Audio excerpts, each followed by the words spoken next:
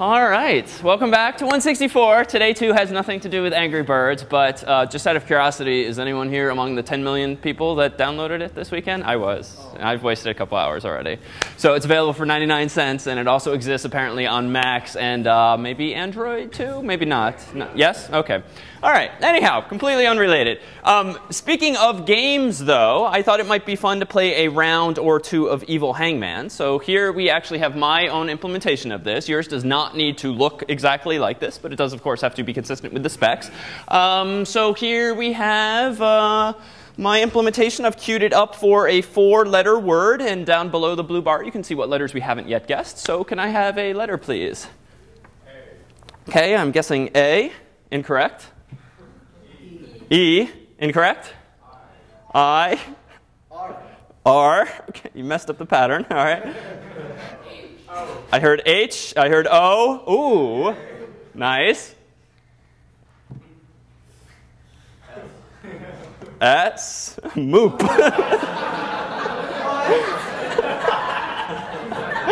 I, I, does anyone know what that actually means? okay, so that was Evil Hangman. Um, let me go ahead and there's no high scores since we haven't yet won. Um, well, I mean, when you put in a dictionary of 214,000 words, um, it's a pretty big eh, vocabulary. So when you play with, against your roommates, um, you might want to queue up a smaller dictionary. Uh, for instance, on the projects page of the course website, we actually put a small .plist file, which actually just has some words from the spec, but you could absolutely add to that things like cat and dog and puppy and whatnot, so as to really mess with your roommates. But let's turn evil off and go ahead and back to the front here. Start a new game, four-letter word. F. F. You? I heard E. A. S. Oh, non evil hangman's pretty hard, too. Okay. now, all right. So, anyhow, we lost twice. But that is Evil Hangman. And if you're struggling, I thought I'd give you a little teaser of what my code looks like here. So this is my implementation. Um, all right, so without further ado, a bunch of fun things on the agenda today that should hopefully help you as you also start thinking about what you want to do for your student choice project, which is the fourth and final for the course. Um, so today we'll look a bit more at views and the general hierarchy of an MVC type application in this environment. The notion of localization, which is too often underappreciated by startups, especially when you're first starting out. It's sort of natural to start coding things in the language with which you are most familiar. And I don't mean programming language, I mean English. But it's actually super easy in a lot of languages, Objective-C among them, to actually internationalize your application so that it's super easy to add English and French and Spanish and Chinese so long as you actually have access to people who speak those languages and can help with the translations. We'll look at storage, some of the means by which you can actually save information persistently in an iOS device. Uh, gesture. So thus far, we've pretty much just tapped on the keyboard, but you can pinch and scroll and zoom and so forth on these devices. So we'll give you a sense today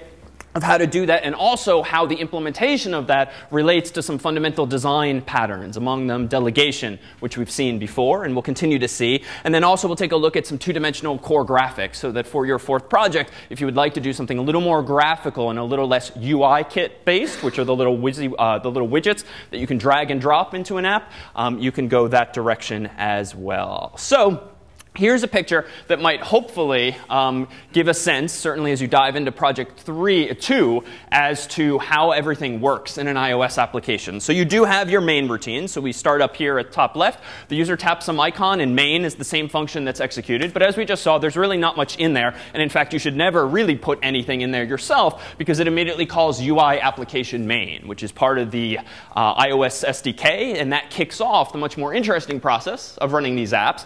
Load main UI file is apparently one of the first things that happens. But what does that actually mean? What is a UI file so far as we've seen? What's it referring to? So it might be referring really to a nib, the thing that you create within Interface Builder, a nib file, a .xib file. Or today we'll see that you actually don't need to use this drag and drop interface. You can actually implement your user interface entirely programmatically. And indeed, that's what some folks do, either for religious reasons or simply for the uh, flexibility of it. Finally, initialize the app. This can take the form of any number of uh, methods, but we'll see some of the common paradigms today. Once the app moves into the foreground, let me scroll down here, it's this circle that pretty much governs these mobile applications. They just sit there in a loop, not quite an infinite while loop that's just there uh, uh, throttling itself again and again, but listening every few milliseconds or every few microseconds for some form of user input. And then the moment something is touched or pressed, or you get some push notification from a server, or the clock changes time, then the event that was triggered is actually handled in some way from left to right. And so when we're implementing a lot of the methods inside of these classes, especially these view controller classes, pretty much your app is otherwise just sitting in this event loop. And this is very common with most any GUI-based application, whether it's mobile or not. So if you're finding yourself a little confused diving into Project 3's implementation, and it would help to at least remember this kind of flowchart, complex though it looks at first glance, realize that pretty much all the magic happens once you reach that event loop. That's where your own code gets executed. All right, so recall that last week we took a look at uh, this little application, which allowed me to type in my name at the top, allowed me to hit go, and then it would just say hello to me. And then we tried to clean it up a little bit so that after I dismissed the alert view window, it would actually remove whatever name I'd actually typed into the text box. Well, we did this all via recall Interface Builder. And Interface Builder is simply the uh, GUI editor inside of Xcode that allows us to drag and drop and create UIs relatively easily. So recall that this is what our nib looked like. And I dragged and dropped a uh, text field, I dragged and dropped a button, and then I configured it with the preferences on the right-hand side. But I also had to do some more interesting things. So the GUI is one thing, but how does the GUI actually talk to my code? Well, the code that we care about in many of these applications starting out are those files, of course, that we see up here. App delegate tends not to be all that interesting um, in terms of the guts of your program, because typically you'll implement the guts of your program in one or more view controllers.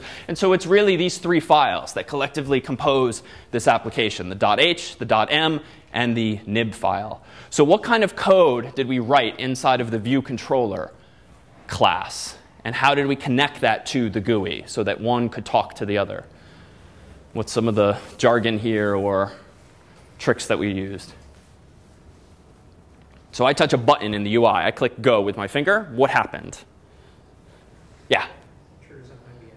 Okay, so it triggers an IB action. So that's an event. Button, uh, what was it? Touch up inside is the event that Apple calls the touching inside of a button and lifting your finger. So that triggered an action. That is the invocation of a method, and that method was implemented in viewcontroller.m. So IB action is just this preprocessor directive that flags a method as being an event handler, something that can be invoked by way of interface builder. So if I scroll over to my UI and I forget honestly what we did last week, I have no idea how this thing's wired up with those little blue lines, you can go ahead and control click or right click on any of the UI elements. And most of this is blank, but there are two things here. So did end on exit for the tech, actually let's do the button first. So if I right click or control click there, there's only one thing of interest. Upon touching up inside, it should pass the go message to file's owner, but who's the file's owner? Uh, main view controller. So it's an instance of the main view controller class. Um, and files owner then refers to the .m file more concretely. So let's take a look at this go method. If I look, scroll over to my .m file and I scroll down, there's some distractions here until I get to the go method, and this is what I did. And an IB action always follows this paradigm, where the return type is IB action, capitalized as such, but recall that that's just a type def in C terms to what keyword? It's just void. It means this method returns nothing. But again, IB action is a preprocessor directive that's in there, or action, it's uh, implemented by way of a preprocessor directive, a macro, so that Xcode realizes, oh, this is one of the things I should show in those little gray pop-up menus when the user tries to drag or control click. All right, so ID and sender. So sender is going to refer to whom in the context of this method's invocation? The button. So the button is an object. It is a UI button object. And as an aside, that's a class that descends from a more generic class called UI view. So there's a little bit of hierarchy there. So the sender is that button object. So a pointer there too. But what does ID represent? Or what is it? So it's a pointer. It's kind of like a void star pointer, if you think back to C, but it's a little more versatile than that. It can actually be nil. Um, and in this case, it's not strictly necessary to say ID. If you know that the thing that's going to be sent to this message is a UI button, you can absolutely hard code UI button star. And the advantage of that is that you don't have to do a typecast later. So for instance, if later in this code I wanted to pass in uh, I wanted to call a method on that button, which I don't. We're not doing anything with the button once the, it's touched. But if I wanted to call a method associated with that button, but it was just of type ID, the compiler doesn't know that that method exists because you're using such a generic type. So you could either cast it later, as you'll see commonly, or in this case, you can just be more explicit up front. But it's not strictly necessary to do that if you especially want multiple UI widgets to call the same method. Now, what happened here? Well, self.ui, uh, self.text field, resign first responder. So resign first responder does what functionally? Hides the keyboard, right? It says, I'm done responding to this previous interaction. What's my default behavior? According to the documentation, it drops the keyboard. And self.text field. So self is the self-referential sort of pointer that refers to the current object. And just to be clear, what type is this object? Where are we? This is main view controller. So the, the object in question is a main view controller object and self.text field. So back in C, a dot signified accessing a struct field, but it's not a struct field here. What is it actually? Self.text field, yeah. Uh, it, careful, sorry? It's a property. So a property that's backed, so to speak, by an instance variable. But the dot notation here is an Objective-C thing um, that introduces the ability to invoke a property. But what does it mean to invoke a property? Well, what method is actually called when I say self.textField? Close. So it's not conventionally called getTextField. It would instead be called just textField. So this would be functionally equivalent. So self passes the message text field, and assuming there is indeed a getter that exists call text field, what will I get back? I'll get it back a pointer to the text field. And why then do we not just write it like this all over the place? It's just ugly, right? I mean, there's that. And by using properties, we also get a very compelling feature from the synthesize keyword, which is what? Exactly. You just get these automatically generated getters and setters. They don't appear in your actual code, but the compiler does implement them for you, so you don't have to write a whole bunch of annoying, tedious boilerplate code. And if you did do, uh, if you know Java or did APCS or any intensive Java programming class, frankly, it just gets incredibly tedious to copy and paste all of these damn getters and setters for all of your classes. So this is a nice marginal add. So lastly, this just does the alerting. So NS string, I'm just constructing a string with a format. So this is very reminiscent of uh, printf. Realize again that self.text field is a text field object. It's a UI text, view, uh, a text field object, but we actually want the dot .text property, which gives us back what data type probably? An NS string. And you can infer that because it's being plugged into this placeholder here. And then lastly, this very long named method, init with title, message, delegate, cancel button titles, other button titles, is simply the method that generates a UI alert view and initializes a UI alert view object. And then the show message, which is down here, is how we actually say show yourself. And it dismisses itself once you actually click the button. So any questions on where we then left off last time? All right, then one question about this. This was, recall I made a mistake at, um, when looking at this earlier, and I had written nil instead of self, and the result was that the demo didn't work correctly. So what does it mean to be a delegate in general? This is an incredibly common design pattern in iOS and in GUI programming generally. Or if you're not quite sure how to express it, why are we passing in a pointer to myself to this alert view object? Yeah? So the alert view knows what's supposed to handle when interaction happens? Yeah, exactly. So there's asynchronous interactions here, right? When the UI alert view pops up, it's not going to go away instantaneously because the human has to actually see it. Well, the human might be slow, might need to take a moment to read it, might not be paying attention, and so this little UI alert view, the little JavaScript style alert uh, window, is just going to stay there. Well, it would kind of suck if the whole application ground to a halt, especially if it were like a video or a game or your email inbox where you want stuff to be happening in the background. But if this were a blocking call, showing a UI alert view object such that nothing else could happen until the user hits the OK button, it would be a pretty crappy user experience, right? And this is what life used to be like, you know, 10 years ago when you didn't have multi-threaded applications. But by passing in this pointer to self, I'm effectively informing this alert view object, by the way, when the user is done with you, as by pressing the button, let me know. And so delegation is all about providing pointers to an object, uh, passing a pointer to some object so that the receiver can then pass messages back to that without grinding everything to a halt by just waiting, waiting, waiting, waiting for the return value of something like show. In other words, show can return instantly, and then eventually, when that user dismisses the alert view, I will be informed, I being the delegate. So, what is actually uh, called? Well, let's take a quick look at our H file. In the H file for view controller, all I did up here was declare last time this go method.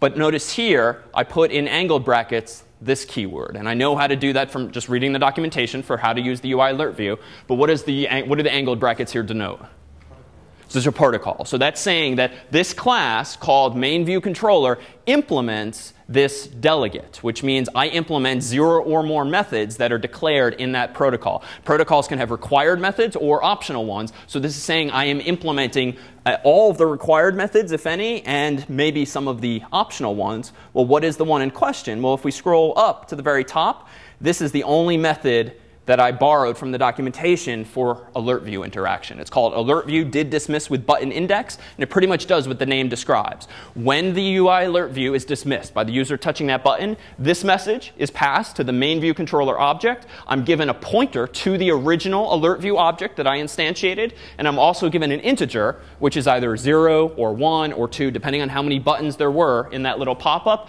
and then I can simply respond to that key press. And what I did rather um, anally was just clear out the text field itself so as to start this silly little game again. But I wanted to do that only when the user clicked the button, not instantly when the user originally clicked the go button. So any questions on this general paradigm of delegation? It's something you'll indeed need to be comfy with for Evil Hangman's implementation if only because the flip side view controller that you get for free from the template is implemented using this exact same paradigm. So the flip side, when you click done, can inform the front side that in fact it should flip itself back around. Any questions? All right, so let's do a little something easy in, let's say, Spanish. So I'm going to go ahead and create a new Xcode project, uh, iOS. I'm clicking Cocoa Touch. At, whoops, uh, and uh, nope, I'm clicking application and then single view application. I'm going to go ahead and name this Hola1. Um, we're going to uncheck unit test for today. I'm definitely going to leave automatic reference counting checked, as you should for the project. I'm going to go ahead and just save this onto the desktop for now. And I get a little canned application. What does this thing look like? Well, if we just rebuild it real fast with Command R, it's going to be an incredibly underwhelming application that just has a view and nothing else to it. So let's actually say something here to the user. Let me go ahead and quit, quit the simulator. Let me open my only nib file. On the right-hand side, let me go ahead and drag a little label here. I can make sure everything's nicely centered over here and over here. And then I'll center the text. And I will just say hello. But then I realized that if I want to be able to sell this not to just English speakers, I want to sell it to Spanish speaking people as well, it'd be nice to internationalize this thing. Well, if your UI is entirely implemented in a nib, it's actually super simple. I can simply click on my nib file, click on the inspector over here, and scroll down to where it says localization on the right. And adding another language is literally going to be as simple as choosing, let's say, Spanish from this dropdown. Now notice that I have two localiz- uh, locales here. And if I scroll back up, notice what happened to my nib file. So Xcode gave me just two files. So it's a little annoying and that now I have to somehow, if I make changes to one, I have to make changes to the other. But if you are, your UI is relatively simple, as this one certainly is, my English one here looks the same. But if I now choose the Spanish one, I can go in here and say hola instead, save this whole thing, and now notice English, Spanish, English, Spanish. I'm going to go ahead and run it. And because my little simulator is in English by default, I should say hello. And I indeed do. Now, if this demo works, I'm going to go ahead and click the home button, go back here to settings, go to general, international, change my language to Spanish. Done. It's going to reconfigure itself. It's adjusting the language. And now, hola one says hola. All right. Very fancy. Just doubled my revenues in the store. All right. So this is not all that scalable, though, because you're certainly not going to isolate all of your strings just to these nib files. So it's a quick and dirty way of internationalizing something um, if most of your text is actually in the UI. But suppose we want to do things a little more generally. I'm going to instead this time going to create another single view application.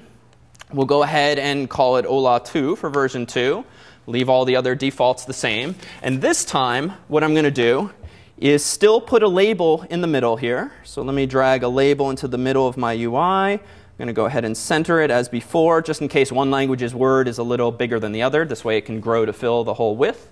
Um, I'm just going to leave it called label for the moment. But now in my code, I'm actually going to have in my implementation of this thing code that's programmatically going to change whatever word it is that I want to say, whether it's hello or ciao or hello or hola or something else entirely.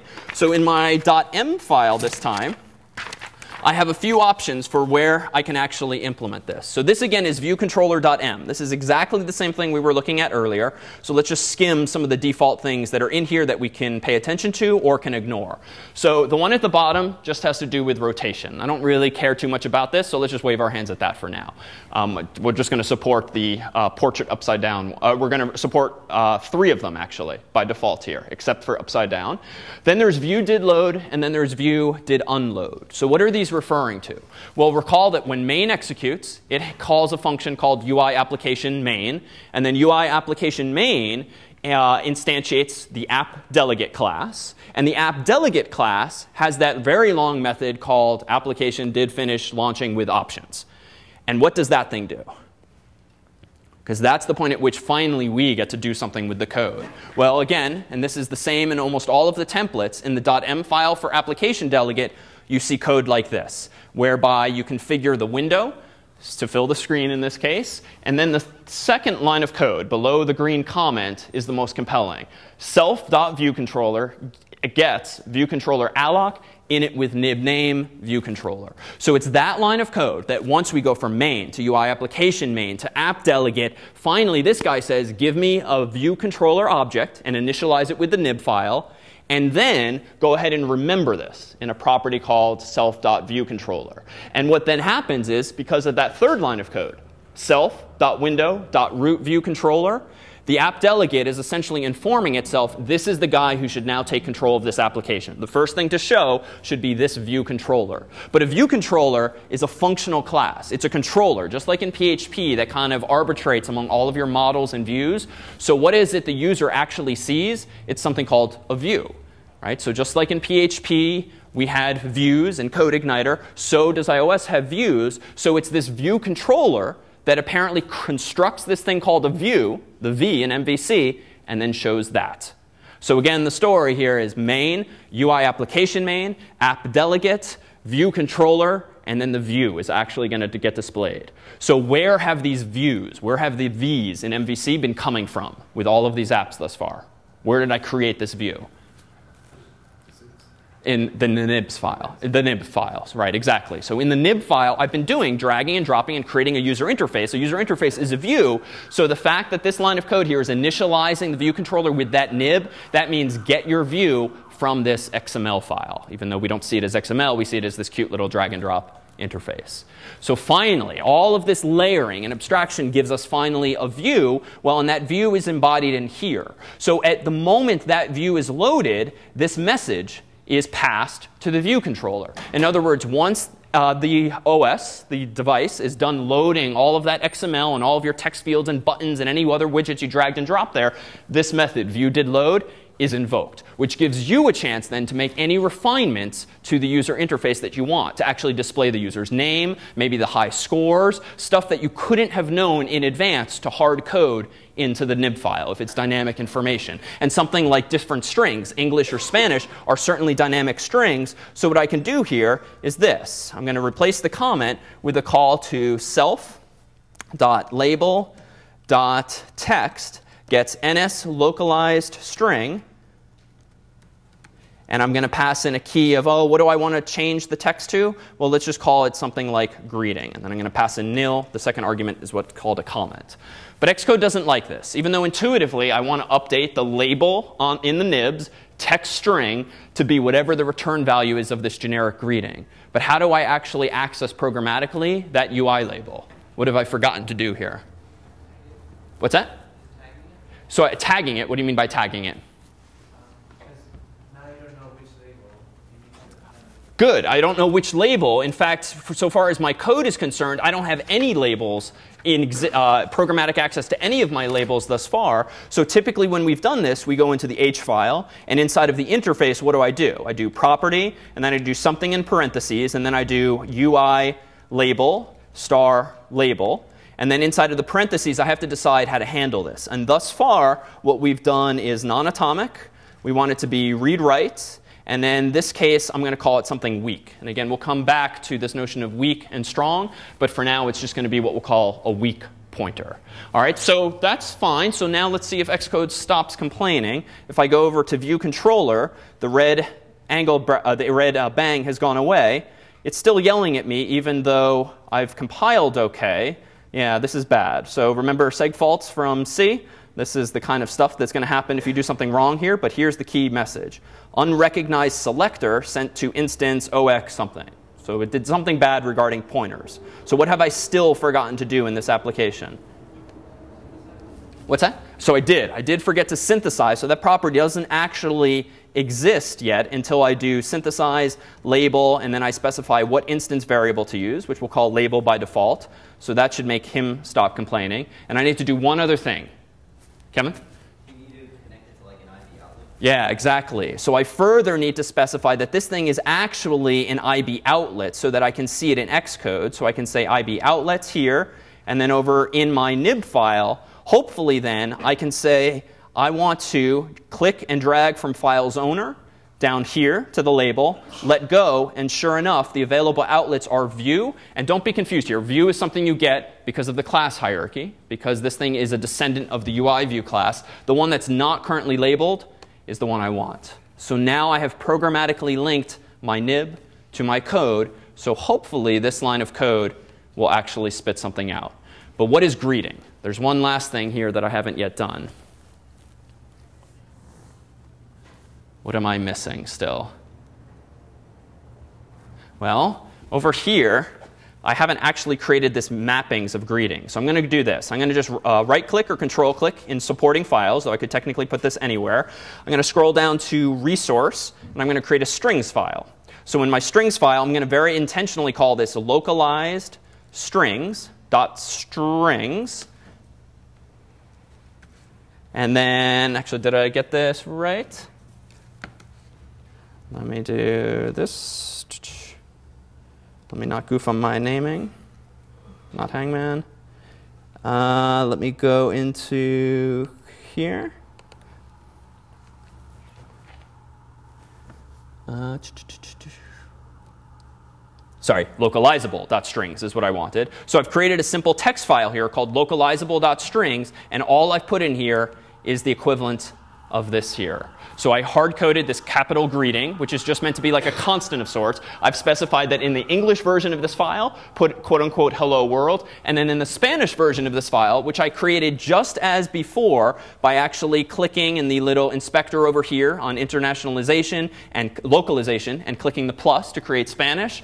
In the strings file here, now I have hola mundo, which is going to be plugged in instead of that. And I can even, in another file here, if I go down to info.plist names, notice that you can even exercise fine-grained control over the icon and the word that the user sees in the interface. So if for your English-speaking folks, you want the app to be called hello, but for the Spanish-speaking folks, you want it to simply be called hola, this will actually programmatically change what they see on the device itself. So if I go ahead and run this now inside of the simulator, after quitting the old instance, hopefully it should see really the same effect, but now hopefully you can infer the flexibility of out punting all of your strings to this big file and what you would typically do as the programmer is you write the English version of that file, and you come up with these big constant, uh, constant-like structures, like greeting, which is the generic word for greeting. Then you pass off the French file or the Chinese file to a friend and say, can you please translate all of these strings in here to their equivalents? You compile that file in, and voila, you are localized. And all it requires is that you have the foresight to, in your actual code, not hard code NS strings, but instead use this little macro NS localized string that will actually do the symbol lookup for you. So it's that easy. You don't have to do this for Evil Hangman, but for the final project, you'll at least need to have the infrastructure in place to do this for at least one other language than English. All right, any questions? All right, so let's take a quick tour at one of the templates before we can then introduce some things like storage. Among the options here are going to be these. So when you want to actually read data into an application that's shipped with it, or you want to write data into an application because the user generated some high scores or some preferences or the like, you have a whole bunch of options in iOS. These are just some of them. So you have property lists, and a property list is really just what? It's just an XML file. It's standardized XML so that in Xcode you can actually see it with the little uh, WYSIWYG editor. You have NS defaults, which some of you might have started playing with. NS defaults is essentially an NS dictionary object that is a hash map or an associative array, call it whatever you'd like, that you get by default with an iOS application that allows you to store fairly small settings, like the number of uh, letters in the words for evil hangman, or the number of guesses you want to allow the user, or whether or not evil is on or off. So some basic default settings that you want, might want the user to change. You get this prefabbed class that allows you to do that very easily. Um, you also have SQLite. So what was SQLite, if you're familiar from past experience? Yeah. Perfect. So it's a SQL database, so you get select and insert and delete and update and all the semantics of SQL, but you don't actually have a full-fledged database running on the server. It's just all stored in a binary file, one single file on disk. So this is nice for portable devices where you're not going to go install MySQL or Oracle onto an iOS device, but you'd really like to retain the expressive capabilities of SQL and selecting and joining and the like, so you can still do that with something called SQLite. And you can do this even in the PHP world and web world, and even I do it for projects sometimes, where I want the code base to be super portable and not require someone to create a MySQL database for me for reasonably sized data sets, everything then can stay isolated within a directory. You can store things in XML itself. Uh, with iOS 5, you can store things in JSON, with which you're probably familiar from the web world. And then there's an abstraction layer called Core Data that also allows you to not have to worry so much about the underlying technology that you're using, but still store relationships among objects. So a quick tour of a very common um, design pattern in iOS apps. So thus far, we've only looked in any detail at the utility application in single view. Now it's time for master detail. Um, and the code here is going to be a little more complex, but the paradigms we'll see are going to be the same as those we've seen before. So in a master detail application, when you run it outside of the out of the box, you get this, which sort of looks like a canonical iOS application, which you can't really see it on the screen here, but there are little horizontal lines there that represent rows in a table that if you click and drag, I am the only one that can see that something's moving here. This just looks like white on the projector. But um, if there were actually things in here, I could click edit, and then all of a sudden I could start deleting what are emails, for instance, on an iPhone, or text messages, or whatever. So this is a table view um, in iOS speak. So how do we go about coming up with a view? Can I zoom in and then you see the lines? OK, there's slight little lines there. So the goal is to make this big white interface and actually put stuff in it. So let's take a quick look here. You start off looking at an application, whether it's your partner's code or some template or some project off the web. How do you start to wrap your mind around how it works? How do we start this tour when no one's telling you in a PDF where to look?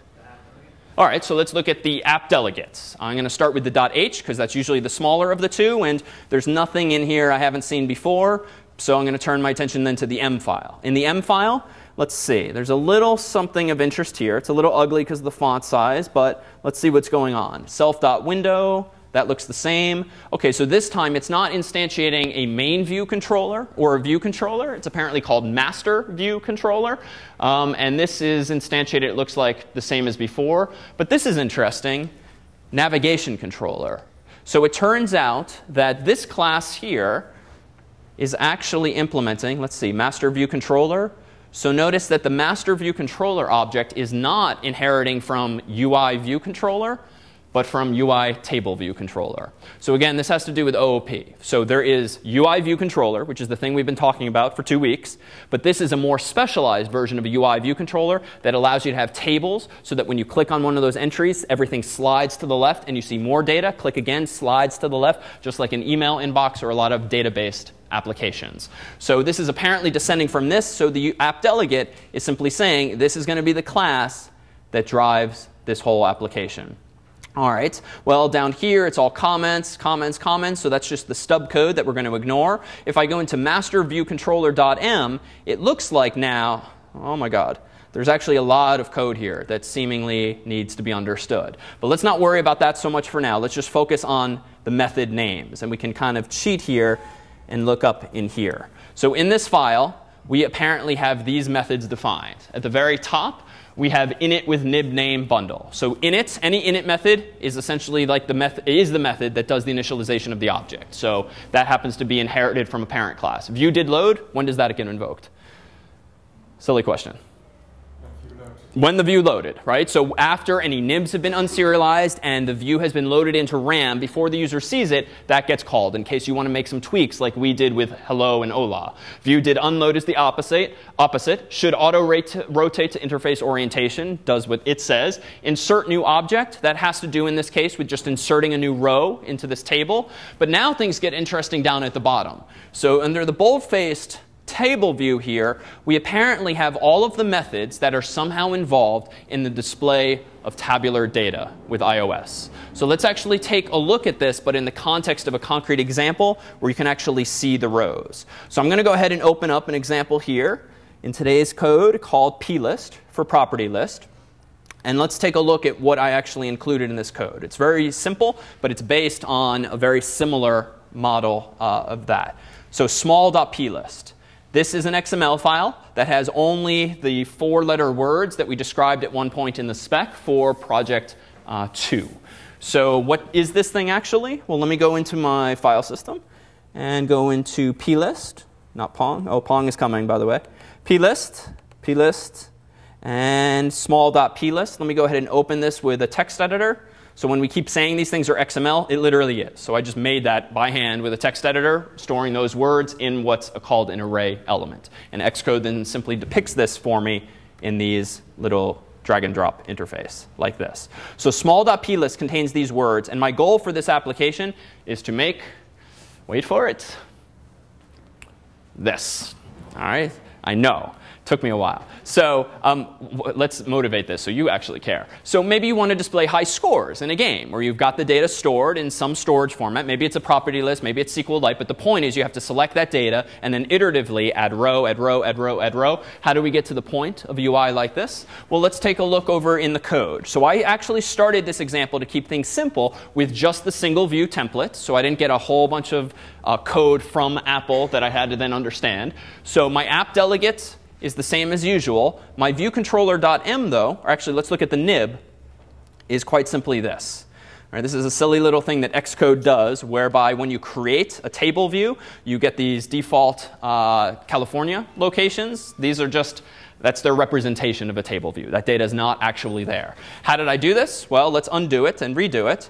So that's what I started with, as with any application. And if you scroll down in these widgets, down, down, you'll see table view. I literally just dragged and dropped that into the interface. So I could get some kind of table view. And then, so that I could actually talk to it, notice what I must have created. There's these two linkages. So a table view has two properties that come with it. One called data source, which is going to be a pointer to whoever is going to be giving me the data to fill out these rows with. One is called delegate. That's the guy that in the other direction I am going to inform when the user does something. Now, what might you do with a table view or any application that has just tabular data? You being the human. Again, softball question. You might touch the screen, right? You might click the edit button. Any of these in user interactions might trigger events. Who do you want to delegate responses to? Well, it's whatever the delegate is. So notice that they're both mapped to files owner, which mean, and files owner is as before, view controller. So the implication is that I'm going to ask that object for the data to display. And when the user touches or interacts with that data, I'm going to inform that same object. So let's take a look then on the left-hand side here of what I actually had to implement. So in viewController.h, notice what I've done. It descends from viewController because it just came from the default template. And now here, let's take a look at a couple of design decisions that I had to make. So one, I implemented this method, init with nib name bundle. So you can have init methods and we looked at that in the student class and those examples we made ourselves. But now that you're starting to use the iOS SDK itself, you can't just make an init method and hope that someone's going to call it. Because indeed, you want this method, you want to put your initialization code in the method that's actually invoked. So notice what I did here. In my app delegate, I noticed that, all right, well, when a view controller is allocated, this is the method, init with nib name bundle that's actually called. So I wanted to learn a little something about that. So I held option, or control rather, no, option, and then notice it becomes blue. I click on it. I get a little cheat sheet, sort of like a man page for it. If I click on the book, I get the full-fledged documentation for this class. And indeed, this is the method that's called to return a newly initialized view controller with the nib file in the special, uh, specified bundle. So what's a bundle? Bundle generally refers to the application itself. Like when you compile your code and you include all the images and source code andplists in it, that's a bundle. So what did I do? I simply copied the method signature here like you might have done from a man page in C. I then went into my code for my view controller, pasted it, and then I started implementing it. So I did stuff here. All right, so what did I do? This is the stuff I put in there. So this recalls the paradigm from last week that you just have to do when writing your own init method. You call the superclasses identically named method. You assign the return value to yourself. And if the return value is non-nil, nothing went wrong, you can proceed to do your initialization. So this is like checking for null in C. Well, what do I want to do when this application is loaded? I want to simply load all of the words from that property list. So how do you do this? And this is actually germane to project 2 if you choose to use property lists. Well, first I construct a string called path, and then I ask the main bundle, that is the thing the user has installed on the iPhone, to give me the path for the resource called small that's of type plist. So this really means get me the full path, c colon backslash or whatever, to small.plist. Now on the iPhone, it's obviously not c colon backslash, but the same idea. Then what do I do? Well, then I declare an NS array pointer, and then I say, give me an NS array, actually allocate it, and initialize it with the contents of this file. And thankfully, the NS array class has a method that someone else wrote called init with contents of file that knows how to do exactly that. You hand it an XML file, or specifically a plist, it will will just take care of the rest for you. And voila, you now have an array of the very data that we had in the XML file. And then this line here is doing what? This third and final line.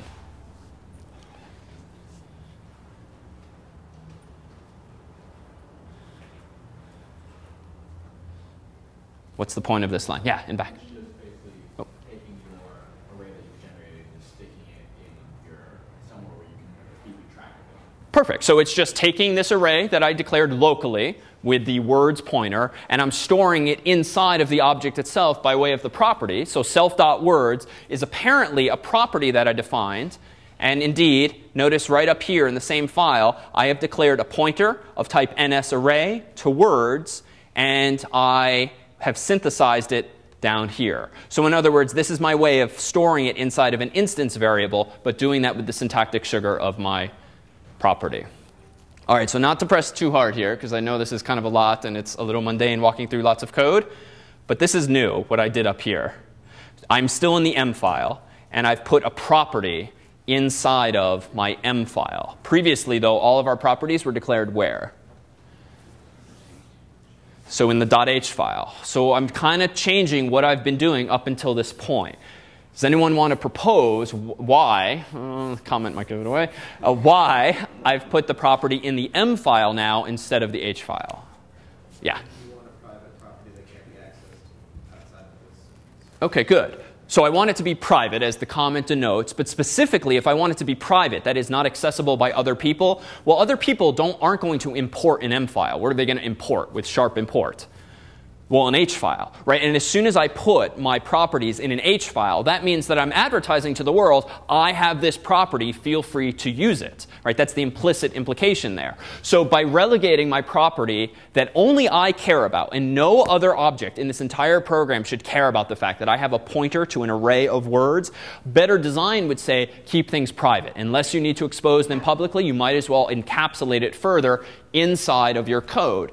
Now, this little trick here we mentioned only briefly a couple weeks ago, but when you use at interface in an M file, so recall that we've almost always used at interface in the H file.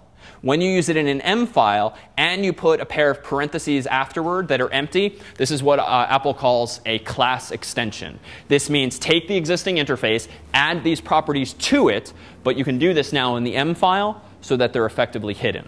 So the rule of thumb here is quite simply, if you're writing a property or even declaring a method that only this class should ever have to call, it's effectively private, don't put it in the H file. Only put in the H file things that you want other classes to know about. Now I say that this is private property. But the reality is that there really isn't enforcement of a lot of these notions of privacy in iOS. And indeed, a lot of the times when people are taking advantage of undocumented features of iOS, it's because they've somehow figured out that there is a foo method. And the foo method is this magical thing that allows you to tether your phone, for instance, wirelessly to a laptop. Because that functionality is there, it's just Apple's not advertising it in the SDK.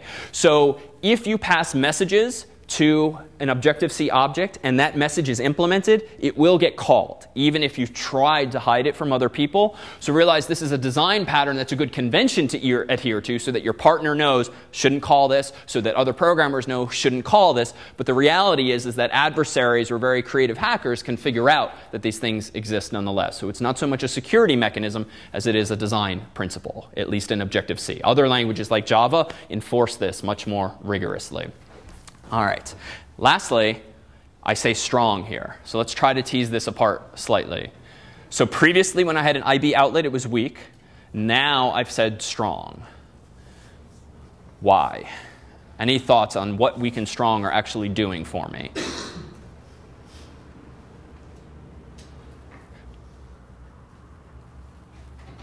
Yeah, Charles? So it does. It has to do with this feature called reference counting, which Objective-C has underneath the hood and publicly had until last summer when Apple uh, made programming easier for the masses by adding this thing called automatic reference counting, which recalled was that checkbox I checked. So at the risk of oversimplifying for today's purposes, know this. No, none of our code yet have we ever called free or the equivalent of dealloc. We have, oh, we've called alloc, but we never actually free that memory. And this is in stark contrast to C, where anything you mallocked, you then then called free on.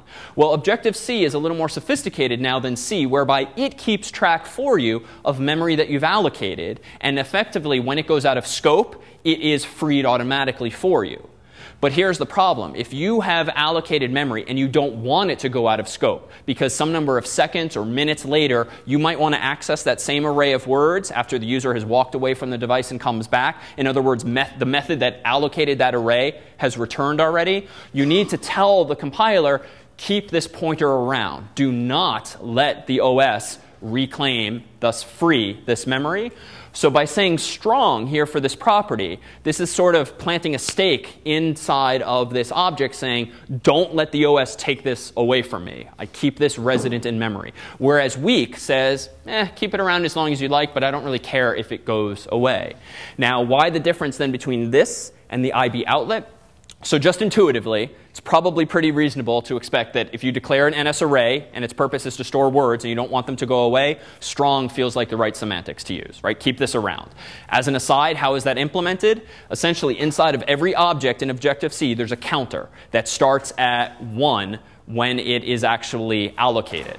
All right? And then if you go out of scope, that count is decremented to mi minus one, minus 1, so you go back down to 0. As soon as an object's reference count is 0, what do you think happens? the, uh, the operating system frees that memory. It's similar in spirit to garbage collection, familiar with this term, but it's a little better in that garbage collection is often invoked non-deterministically once in a while to reclaim memory. Reference counting, when things go to zero, they're typically immediately reclaimed, which is typically better for performance, at least so far as the user is concerned. Um, so if then I allocate this array and it's by default 1, but can very easily go to 0 when it goes out of scope, by specifying strong, what does its reference count actually go to most likely? 2, which means even as it goes out of scope, it does get decremented, but that leaves it at 1, which means I still have a stake in that object, which means the iOS operating system is not going to take it away from me. Now, as an aside, had this course been offered a year ago, you would have had to do all of that plus oneing and minus oneing yourselves. And this was, I mean, frankly, it wasn't hard once you understand what's going on, but it was prone to lots and lots of buggy code and memory leaks. So in general, a good principle in compilers is assume you're better than the programmer and start to do as much of this for him or her, which is what the OS is now doing. But you still have to provide these hints to the compiler so it knows what's going on. If I did weak, this program could very well crash or just not uh, function, and it might just happen once in a while because of the memory being taken away from me unexpectedly. And now, just as an aside, the reason that you use weak for an IB outlet is because the nib file will take, the nib file is the owner of all of the widgets that you've dragged and dropped there.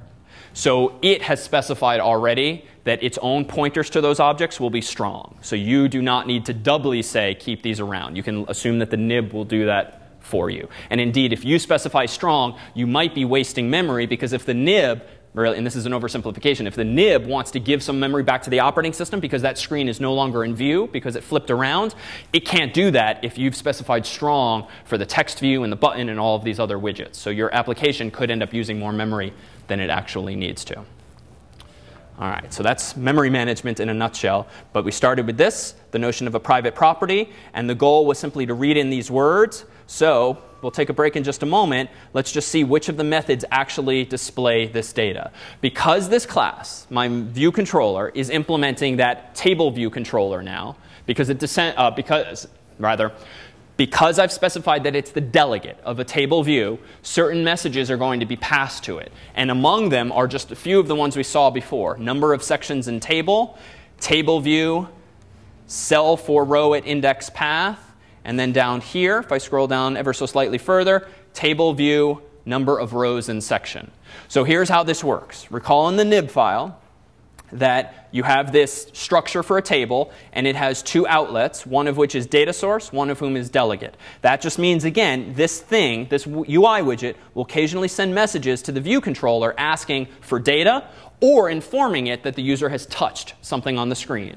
Well, what method is it going to call when it wants to know how many rows it needs to make room for? It's going to send the message, table view, number of rows in section, and what do I, the delegate have to do or the data source have to do? I just have to answer that question. How many rows do I want? Well, I'm going to do self.words, which gives me my array, pass in the count message. It does what it says. That's going to return 5 or whatever it is, number of words that I have here.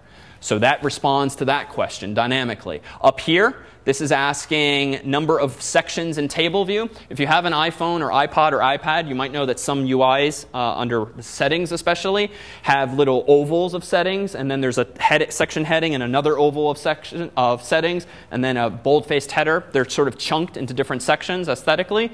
This is just saying how many of those things do you want. I don't care about those aesthetics. You have one section, which means just give me a big, long view.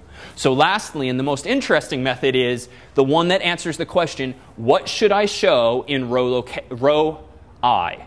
And to implement that method, I can do this. Table view, cell for row at index path.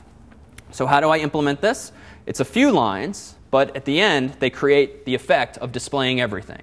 So when this method is passed, it's going to effectively be passed in the number 0, 1, 2, 3, or 4, if I've got five total rows. So when passed in 0, what happens? Well, first I have this string here. I just need a generic cell identifier. This is for reusability of cells. Let's wave our hands at this for now. This thing here gives me a pointer to a UI table view cell, which is a little rectangle. This method here, dequeue reusable cell with the identifier, is this. Think back to your days of data structures, linked lists. Odds are the operating system, or in this case the SDK, has a linked list of available table cells, maybe 10 of them, maybe 100 of them. And if one is not currently being used by the on-screen display, it's going to grab that object and then allow you to refill it with whatever data you actually want to show. The motivation here being if you have an iPhone or any device like this with limited screen real estate and you actually have 100 entries in it, what things do you absolutely have to keep around in memory? Just these 10 rows. You don't need the other 90 rows kept around in memory.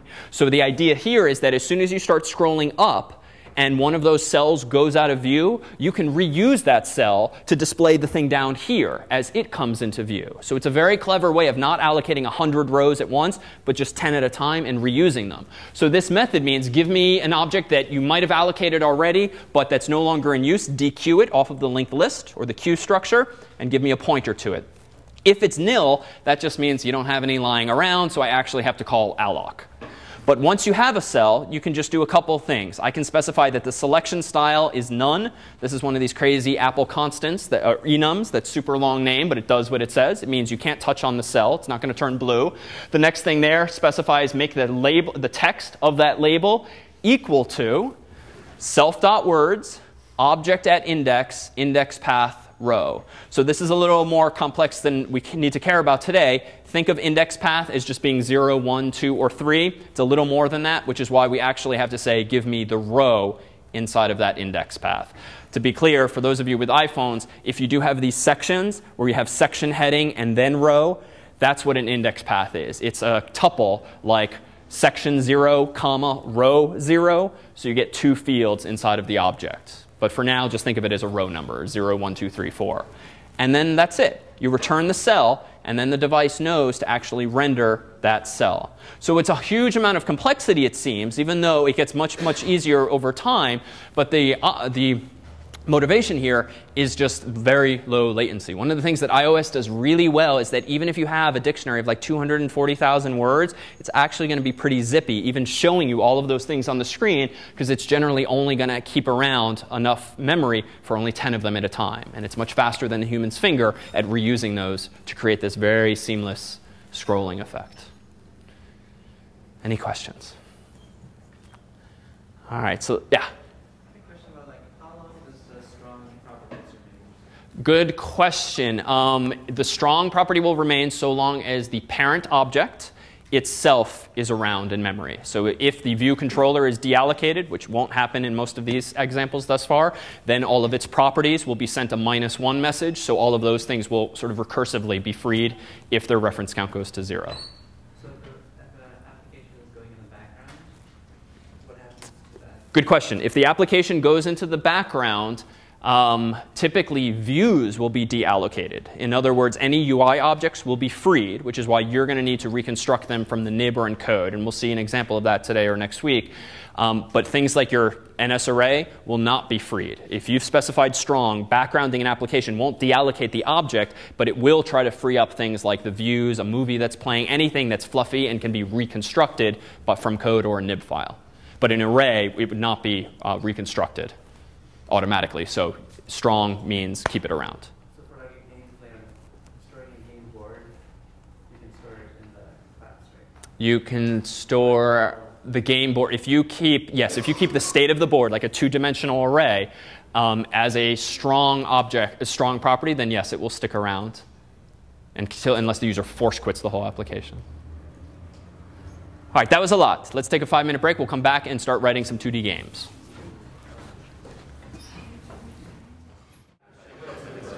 So, what better motivation than this to implement uh, pinching and gestures and swiping and zooming and such? Uh, so, this is Tommy version 2, much improved over a version we did uh, last year for a different course. And it will allow you, with your finger, to swipe through all of the awkward photos that I could find on Facebook for Tommy here. Um, you can't quite see my finger, but as, I touch, as I'm in the simulator, but if you hold down Option, you can see what look like two finger presses. So, we'll also see how using two fingers, you can actually pinch and make things smaller and bigger. Um, so how to interact with this sort of application. Well, what's going on? So there are three total photos that I included inside of this project. So I constructed probably an NS array that contains maybe the file names of those three files. I've somehow registered an object as a listener, a delegate of sorts for uh, these finger gestures so that you can actually respond to them if some message is passed. And I'm somehow distinguishing between left to right swipes and right to left, even though you can't quite see it um, on the simulator without my finger appearing. So how did I go about doing this? Well, this too is just a single view application. So I started with one of the simplest templates. And then I realized, all right, so if I've got three JPEGs, which I simply dragged into the, uh, into the app. So there is one, there is two, there is three, and um, uh, okay, very distracting. So um, let's take a look at where we always begin the story. App delegate, nothing interesting going on there. That's all the boilerplate code, just reformatted with some comments. This too is boilerplate. Application did finish launching with options. Who gets control? Looks like view controller class gets instantiated. Then we have viewcontroller.h. There's really nothing going on in there except for this. Apparently there's a UI alert view. And indeed, if you click and hold, you will see that, um, for instance, if we click on hold on his nose, we'll see that he yells at you if you press down on his face too long. So how do we go about doing this? Well, viewcontroller.m. So let's just get a sense lay of the land here. Okay, a bunch going on, so let's start here. So one, let's pluck off the easy ones. This app apparently will only work in the portrait mode orientation. Why? Just because. I don't want to have to deal with rotating and resizing and whatnot. So I just hard-coded this return value to require that the, the orientation be portrait mode.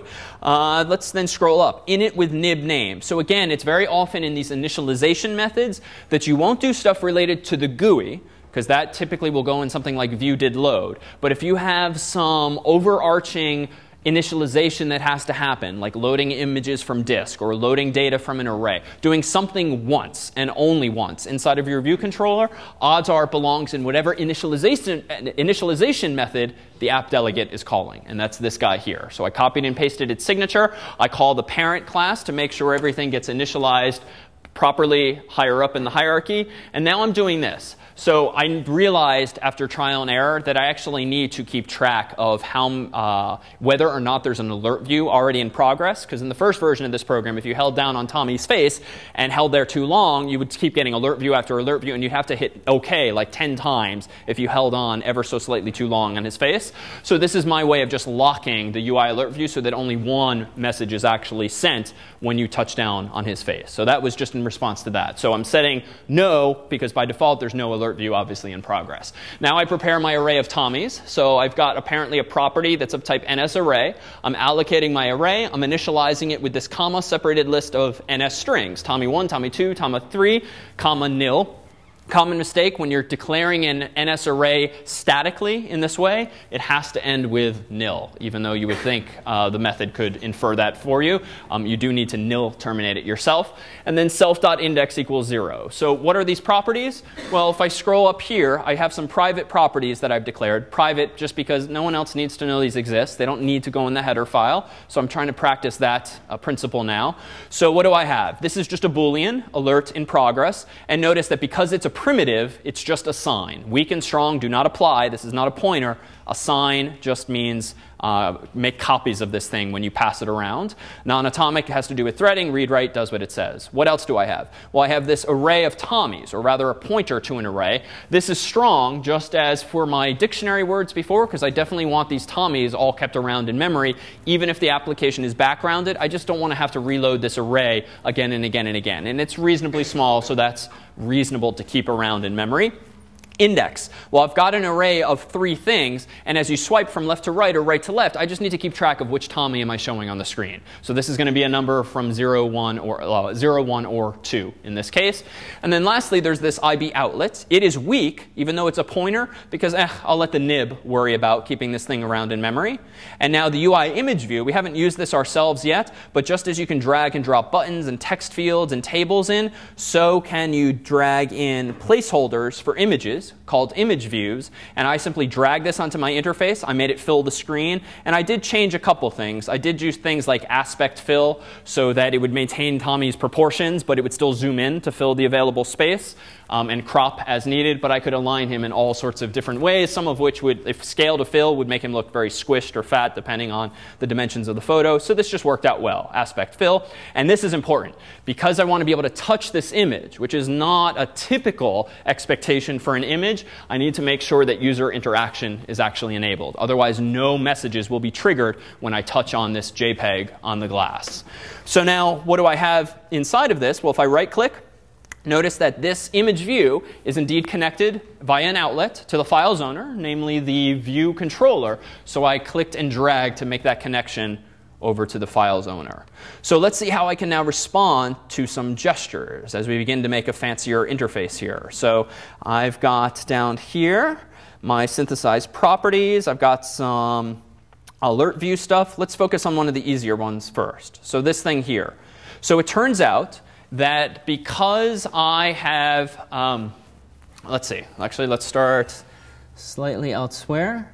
Let's start down here. So we looked at init with nib name, and that's what kickstarts the object's initialization. But I then want to do some GUI related stuff only when the GUI has been loaded into memory. And that does not happen when init, or init with nib name is called. That happens when view did load informs me as much. So you don't want to start touching the GUI in your init method because it might not literally have been re uh, read in from the nib. The RAM might not have been allocated. It's just it's too soon at that point. In the world of JavaScript, you think back on the method that's often called uh, DOM ready or some variant thereof. Same idea. If you try executing JavaScript code too soon, the whole HTML DOM might not have been constructed as a tree in memory, so your code's just not going to do anything. Same deal here with the UI. So view did load needs to do a few things here. So on this first line, I'm going to arbitrarily, I'm going to first load whatever the default image is. So here I have self.imageview.image. So imageview is the object. Dot .image is actually a property that should be set equal to a JPEG or PNG or supported file format. And then here I have a UI image uh, uh, class I'm calling the convenience method named image named, and I'm specifying call self.tommies, which is an array, give me the object at index self.index. So by default, that was initialized to 0. So I'm saying give me Tommy at index 0, which is tommy1.jpg. Then I'm passing tommy1.jpg as a string to the message image named. So what I'm getting back now is a UI image object that's been initialized with tommy1.jpg. And I'm assigning that to the image view property called image, and that's what makes the first Tommy appear. It's as relatively simple as that. Now, what happens next? I now need to inform the entire UI mechanism to start listening for these things called gestures. And so with this next line of code, I'm going to listen for that long press, holding his face slightly awkwardly too long. So I'm going to declare a pointer called long press gesture, and it's of type UI long press gesture recognizer. So the keyword here is recognizer. This is a framework that Apple provides that allows you to recognize interesting uh, UI interactions. I'm allocating one of these recognizers, and I'm initializing it with a target. So what does this mean? This is introducing another paradigm in iOS. So self is me, the view controller. So you can think of this as assigning it a delegate pointer. So inform me when some gesture is recognized, in this case, the long push. Well, which method should you actually pass, which message should you pass to me when Tommy's face is touched too long? Well, the method called handle long press. Now, the one thing we haven't seen before is at selector. So I mentioned, I think, a couple weeks ago that selector is effectively synonymous with message name or method name. And it kind of is. But really here, what I'm doing is handle long press colon is being passed to at selector. At selector is going to return a special representation of that message that's designed to be passed around. So you can think of the net effect here as being effectively a, a function pointer. Or in JavaScript, the name of a function. In JavaScript, functions are uh, actual first class objects, which means you can pass them around by their name. The at selector syntax is allowing us to do that here as well. So that means call this message on this object myself when a long press is recognized. And the next two chunks of code are very similar, but they're for right swiping and left swiping, respectively, which mean left, uh, when the user uh, drags in sort of a typical way on a uh, mobile device. So what happens then when I do touch on his face and a long press gesture is recognized? Well, let's scroll up to that handler. And up here we have handle long press. First, I do this. If it's not the case that an alert is already in progress, and this I realized by trial and error, I was triggering so many damn alert views, I put in this protection. So if there's none already in progress, go ahead and specify, yes, there is one in progress. Then go ahead and allocate an alert view just as usual. Notice that I've done this here, hey, stop that, fine, and so forth. And then I show it. But I'm also using a delegate in another sense here, telling the alert view, I am your delegate, inform me when it's done. Because what do I probably want to do as soon as the user dismisses this alert view? Exactly. I want the opportunity to invert the value of alert view in progress, which I'm going to have to do in whatever that method message handler is, and that's this one here. And we've seen this before. I just need an opportunity to know to do something when the user has touched that button. So for time's sake, let me wave my hands at the swiping, but it's pretty much the same idea, except you do need to distinguish between left and right, which I'm actually doing generically with a method I called handle swipe. And I'm using a constant here uh, and a switch to determine if it was left right or right left. And then here's some sort of CS50 style code where I am incrementing the index, but making sure to wrap back around with to zero with the modulo operator. But that's just some old school logic there. All right, so that's how we implement that. We can do one more where you can actually do um, affine transformations of graphics in a very similar way, but that can create this kind of effect here. So this is our transformations example. If I go ahead and compile this, it again features a familiar face. But in this case, if I take my two fingers or simulate them with the Option key and click like this, I can now zoom out and I can zoom in fairly infinitely if I keep doing it. It's not the highest quality picture, but you can see where this, this is going, right? Think Google Maps, but with Tommy here. So how do we go about implementing something like this? Well, it's actually pretty much the same principle, except now we're actually using some C code. And this will be a good transition to Pong, which uh, you'll find reveals that a lot of the graphics capabilities in iOS are still implemented in C, partly for performance, partly for historical reasons. Um, so if you missed C, here we go again. So this is my M file, viewcontroller.m. Let's ignore this. CG point refers to core graphics point, and we'll come back to that. But I've got some private properties here, just as before. Notice I've got a pointer to an image view, so I can have a Tommy image loaded there by default. This time I have a floating point value for scale, which is going to represent 1.0, 2.0, 0.5, whatever the scale factor is after pinching. And then I've got another, actually I didn't need this. I should delete this. I don't need an array of Tommies anymore because I only included one image in this file. So I'll clean that up after. I've synthesized some variables here, but now notice I have two methods I've implemented. Handle panning, which means dragging Tommy around, left, right, up, and down, and then handle pinching, which means using two fingers to resize the image on the screen. So here's my initialization method this time. So I'm going to prepare Tommy by remembering by default he's at 1.0, and by default the translation of him He's going to show up in this rectangle by default. By, uh, a translation, recall, is some shifting left and right, x-axis, y-axis. So by default, the translation for this image is just going to be nothing. It's going to be at the topmost origin of the screen. And just to paint a picture, um, the way graphics work in iOS, um, this is just a quick sense, incidentally, of the sort of gestures you can recognize. So the slide will be online.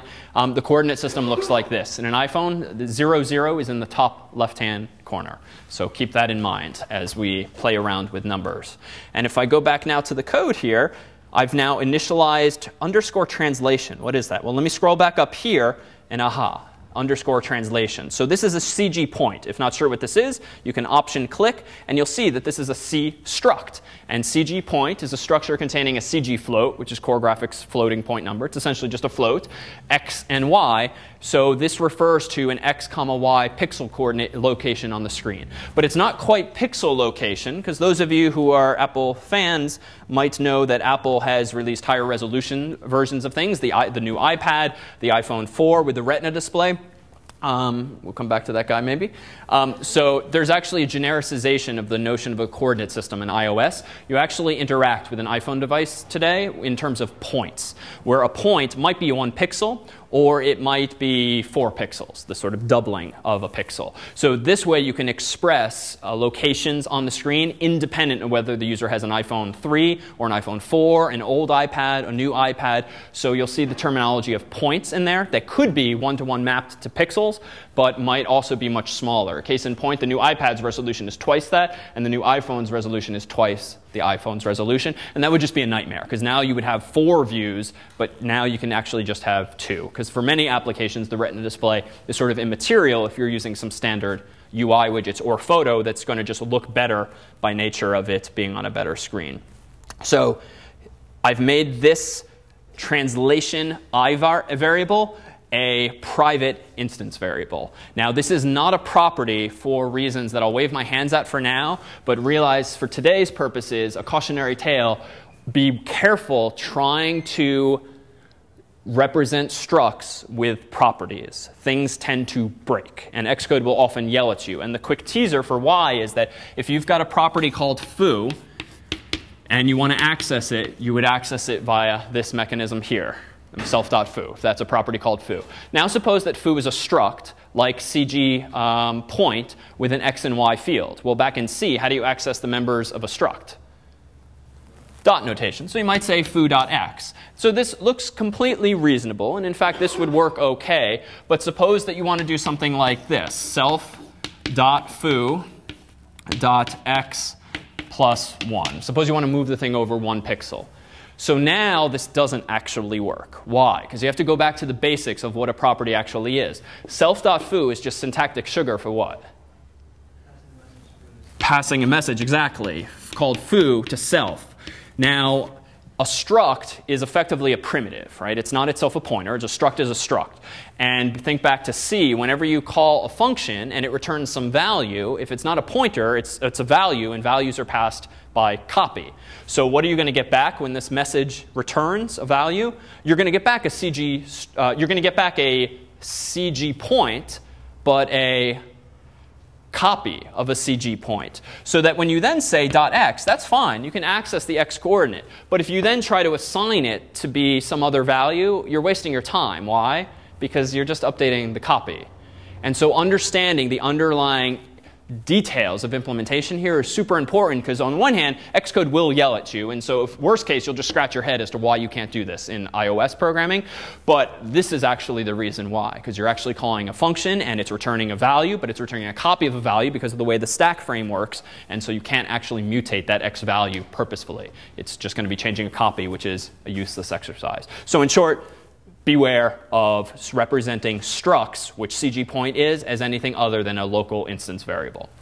All right, so now scrolling down, we've prepared Tommy. I've got a handle pan method. I've got a handle pinch method. I've got view did load. Let's look there then. So again, when learning, when reading through someone's uh, UI type code, start with the app delegate, move on to an init method, then look for something like uh, load, uh, view did load.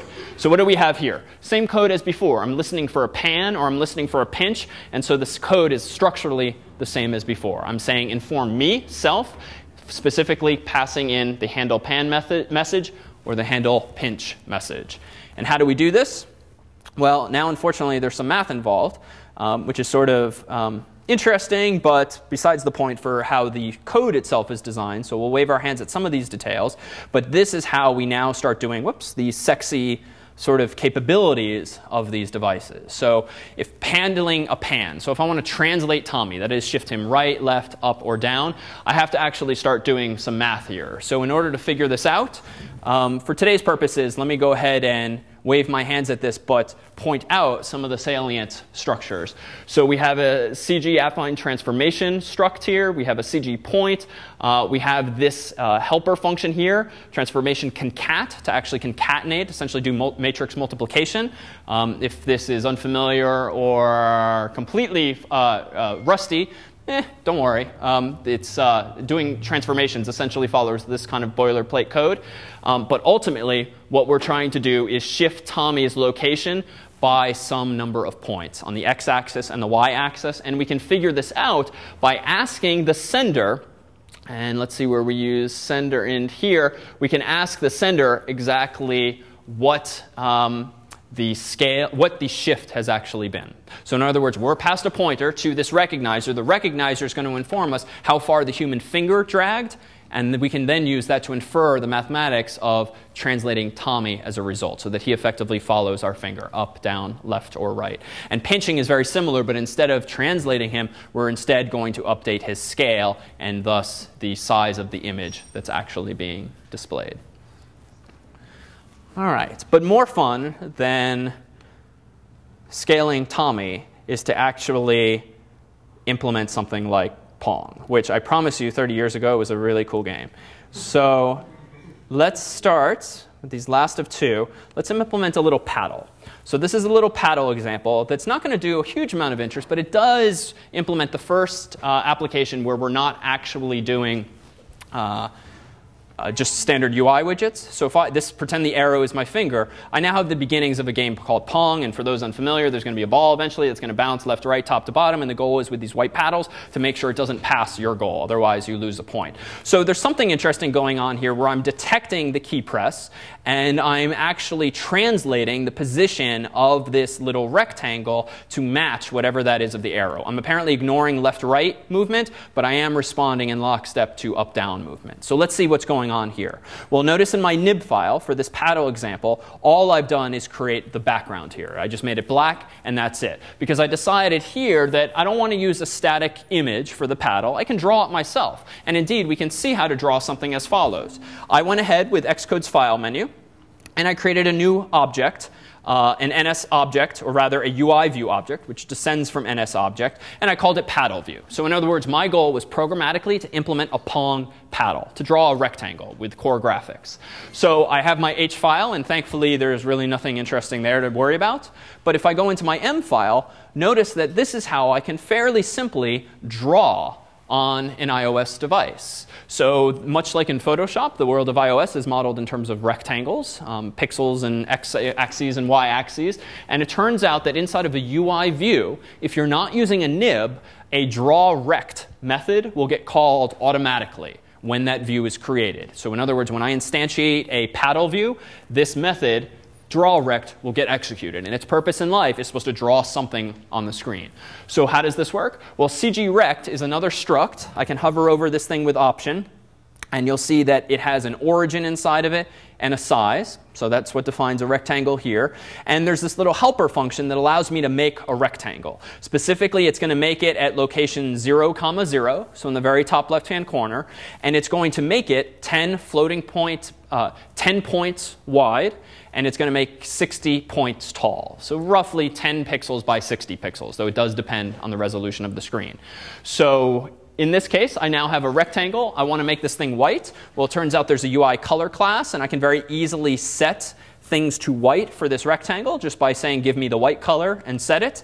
And now notice I'm calling UI rect fill. I want to fill the square that I've just constructed with whatever color I've decided on. So in other words, line 1 creates the rectangle, line 2 picks a paintbrush out of the available paintbrush colors, and line 3 actually paints that rectangle on the screen for you. So what's interesting here? We're really actually mixing two different languages, right? Line 1 is what language? C. Line 2 is Objective-C. Line 3 is C. All right, so again, Objective-C is layered on top of C, and indeed, a lot of the underlying core graphics routines, a lot of the um, low level mechanisms in iOS are still written in C, partly for performance again, partly for other reasons. So understanding the syntax, which is essentially the same, except you don't have object oriented features in the older style C code. All right, so that gives us our paddle. What actually gives us the dynamism? Well, we can do this. So notice that I've done this here. Let me wave my hands at this a little bit just so we don't get too distracted. Here's my init method for the actual game. This is the view controller. Notice at the very top line, I'm allocating a paddle view, and I'm giving it an init with frame message that's saying 10 by 10 by 10 by uh, 60, which is just giving it a region of the screen to operate within. And then I'm effectively having it draw itself within that region, a sliver of the screen on the left-hand side. And then what is the second and final line there doing? Self.view add subview. Well, GUI programming, at least in iOS, is entirely about hierarchy and layering one thing on top of another. So you recall in uh, Interface Builder, when we've been dragging and dropping things, recall that they start creating a hierarchy of things on the left-hand side, where you can see that the table view has this, this button, in, or rather, this, uh, this UI view has a button inside of it. There's a text view inside of it. So in other words, you're layering widgets and widgets on top of one another, on top of some kind of canvas. And this second line of code there is essentially saying, add this rectangle to the existing canvas. And that canvas, by default, is known as self.view. So that's the default rectangle that initially is white. When we do nothing in our application, the, self, the add subview is layering something on top of that. Or in this case, I made it black by tweaking the nib. So how do I now respond to the user's finger? Well, it's actually relatively straightforward. I have to implement this special method called touches moved with event. And now I simply have to get some details from that object and then move the paddle's location in lockstep along the y-axis. So on the left-hand side here, I have a UI touch pointer, and I'm saying give me all the touches that just happened on any object. This is actually a simple application. I don't have to worry about multi-touch. So wherever the user touched, that's the one I care about. So that first line gives me the touch that just happened on the screen. In the second line here, I need to know where did the user touch on the screen. So if I ask the touch object, what is your location in the view, this is going to give me an XY coordinate of wherever the human's finger just went down. The only field I care about there is one of the axes of that finger press. And so over here, notice that I am, again, grabbing the finger's location. Then I'm updating the center of the paddle to be at a new point on the screen. I'm leaving its x-axis unchanged. And by unchanged, I mean just ask the paddle view where its current center is and get x and set it back equal to that value. But location is that of the finger. So I'm saying make your y coordinate match the y-axis of wherever the finger was on the screen. And because these events are being fired continuously, again and again and again, every few milliseconds, you have the visual effect of the paddle actually tracking the finger up and down. So how do we actually now make a game out of this? Well, we have the beginnings of the user playing. Now all we need is the ability to play against a computer. So let me go ahead here and open up Pong. And in Pong, just to spoil the effect, actually, let's not spoil the effect. It'll be a better cliffhanger if you see the end result first. So this time, just to spice things up a bit, I decided I don't want to draw the paddle by default by hand. I don't want to draw the ball by hand. I have Photoshop. I'm going to make these things myself. So I made here the paddle, which looks like you can barely see it. Can you see it on the projector? No, but it's over there. It's white. um, it looks really good, though, on this screen. And now you're really not going to see the ball. There's I'll put the arrow at the ball. It's like a four pixel ball right there. Okay, so that saved me a lot of programming effort. And frankly, it did. It's a lot easier to make a few pixels in a, a, graphical editor and save them as a PNG or a JPEG. So that's what I did, though it's not strictly necessary. So how, do, how does this program get kickstarted? Well, here's my app delegate. It is calling, as usual, it seems, init with nib name. So let's go down now to my nib. And the nib, OK, so I have some stuff going on here. So this thing, this thing, and this thing are actually UI image views. So they're the same things as I used for Tommy before, but I scaled them down so that they don't fill the whole screen. So that's just where I put them by default, but we'll be able to move those image views because they're actually wrapped, again, in an object. Score left, score right, these are actually just UI labels, and I just aligned it in such a way that those words will disappear. They'll be replaced with actual numbers as score is actually kept track of here. So now, if I look over in my view controller, let's see, actually, uh, in my view controller, I have a kickoff method, which is interesting. That'll kick off the game apparently. And now here I have a whole bunch of stuff inside. So quick tour.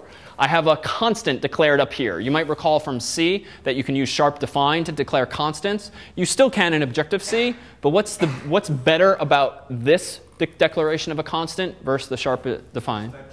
Yeah, so this actually has a type associated with it. Sharp define simply does a find and replace throughout your code, which means there's no notion of type checking there.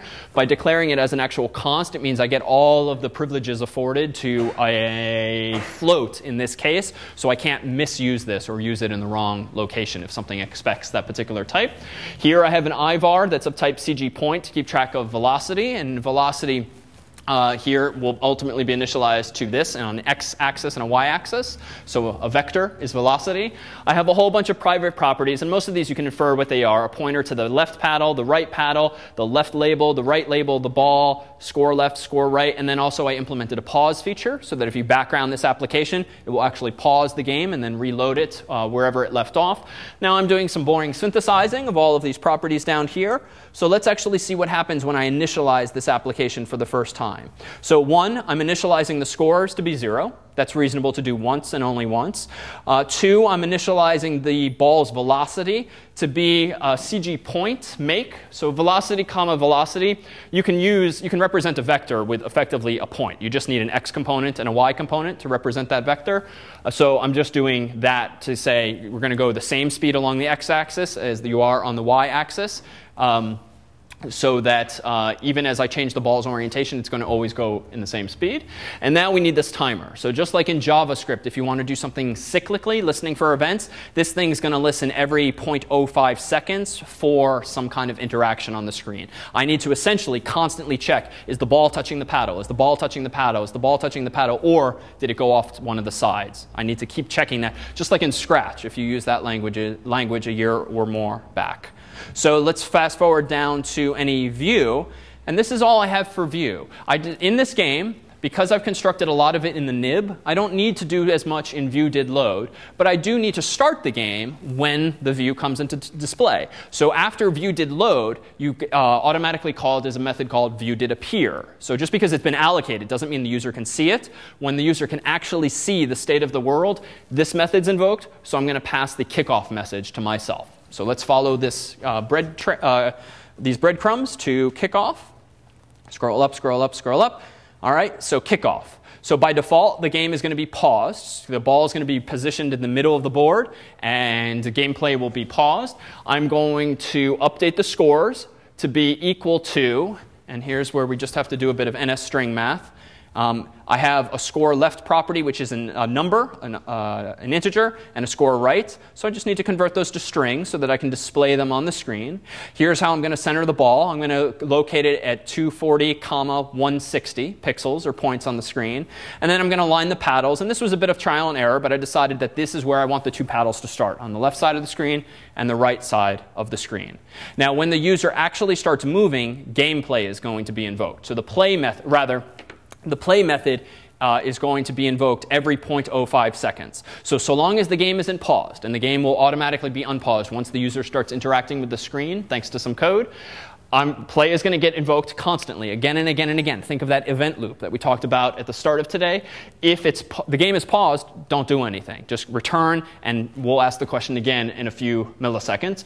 Otherwise, go ahead and move the ball. And this is I, uh, very similar in spirit to what we did with the paddle, but in this case, I want the ball to be self-propelled. So I'm going to move the ball from its current x coordinate plus its uh, the x velocity uh, comma, the current y component plus the y velocity. And then I need to detect goal. So if the center of the ball is less than 5, in other words, if it's within 5 pixels of the left in the screen, that means someone just scored a goal. It got too close to the end, so the guy on the right apparently scored, plus plus. I recall kickoff, so the ball goes back to the center thanks to the referee or whatnot, and we restart the game, but with the updated score. If instead it's 5 pixels to the right of the screen, so I have to do a bit of arithmetic to figure out what that is, because the coordinate system, the guy on the left is going to get a score. Otherwise, I'm not going to do anything unless the y coordinate is actually really close to the top of the wall or really close to the bottom of the wall, in which case I'm going to perform a reflection with just a little bit of arithmetic where I flip around the velocity's y component so that if you're going 5 miles per hour this way, now you're going negative 5 miles per hour, so as to flip the ball in a reverse direction. So the end results here, oh, and the paddle is similar here. And uh, the specifics of the code here aren't so necessary so long as you understand the overall um, framework of the game. Here I'm just checking, are you touching the right panel, right, right paddle, or are you checking, touching the left panel? So if I then run this game, what we see here is a little game like this. And if I, as soon as I touch the screen, the ball starts moving. And if I keep my finger on the screen and move up, I'm the guy on the right. The computer is the guy on the left. Um, he's pretty much infallible the way the game has been written. So really, just to prove that the score system works, I'm going to have to choke here and like, oh. So now he got one point. Of course, we can introduce a bit of uh, AI ourselves. If I go here, I can make myself better by, let's do this. Pull up Attribute Inspector. And recall that before we did some scaling of Tommy's face. So here we just have to do, where is it? Uh-huh. Uh, tag mode, there we go. Scale to fill. Okay, so save, reload. This is real, real AI now. So now I hit the screen, no hands. the sad thing is, when I was making this joke in my head last night, I actually lost because it can still actually hit the bottom corner there. So this here is Pong. So today we look. Thank you. So this here is Pong, two-dimensional graphics. One of the themes today has been delegation and actually passing messages around. Next week we'll start looking at testing and how you can ensure your code is correct, case in point. But until then, good luck with Evil Hangman. We'll see you next week.